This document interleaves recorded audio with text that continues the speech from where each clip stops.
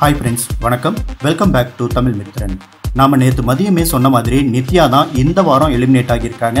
எதனால் யாசிகாவுக்கு பதிலாக நித்யா வெளியே போனாங்க அப்படின்னு பலருக்கும் பல எண்ணங்கள் இருக்கும். நமக்கு தெரிஞ்ச சில விஷயங்களை ஷேர் பண்ணலாம்.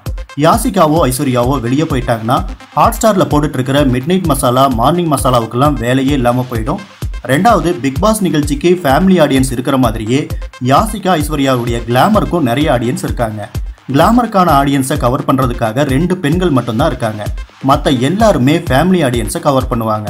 அவங்களுக்குள்ள சண்டையோ சமாதானமோ இல்லை கோல் மூட்டி கொடுக்குறாங்களோ எது பண்ணாலும் ஃபேமிலி ஆடியன்ஸை நிச்சயமாக கவர் பண்ணுவாங்க.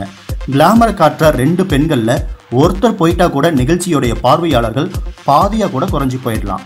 அதனால தான் என்ன கெட்ட பேர் வந்தாலும் பரவாயில்ல அப்படின்னு இந்த முடிவை சேனல் தரப்புலேருந்து எடுத்திருக்கலாம். இன்னொரு பார்வை யாசிகாவுக்காக ஓட்டு போட்டவங்க அவங்களுக்காக மட்டும்தான் ஓட்டு போட்டிருப்பாங்க. ஆனா நித்யா வேணும்னு நினைச்சவங்க பாலாஜி பொன்னம்பலம் இவங்களுக்கும் சேர்த்தி தான் ஓட்டு போட்டிருப்பாங்க.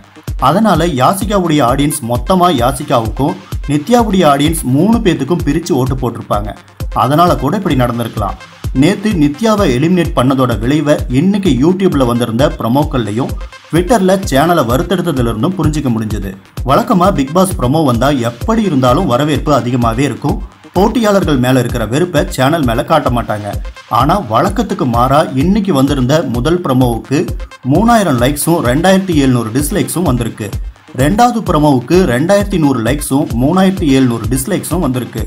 மூணாவதா கடைசியா வந்த ப்ரமோவுக்கு ஆயிரத்தி தொள்ளாயிரம் லைக்ஸும் நாலாயிரத்தி நானூறு டிஸ்லைக்ஸும் வந்திருக்கு.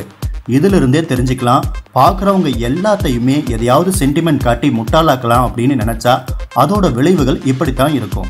அதே நேரம் இன்னொரு உண்மையும் இருக்குது நித்யா எலிமினேட் ஆனது மொத்தமாக எல்லா பார்வையாளர்களையும் பாதிக்கல அப்படிங்கிறது தான். இன்னைக்கு ப்ரொமோக்களுக்கு வந்திருந்த லைக்ஸை வச்சு தெரிஞ்சுக்கலாம். நம்ம ஏற்கனவே சொன்ன மாதிரி இந்த நிகழ்ச்சியை பார்க்காம தவிர்க்கலாம் அப்படின்னு நினச்சா அது கொஞ்சம் கஷ்டமான காரியம்தான். ஆனால் எவிக்சனுக்கு ஓட்டு போடாமல் நிச்சயமாக இருக்க முடியும். அதோட பாதிப்பை சேனல் நிச்சயமாக உணர்வாங்க.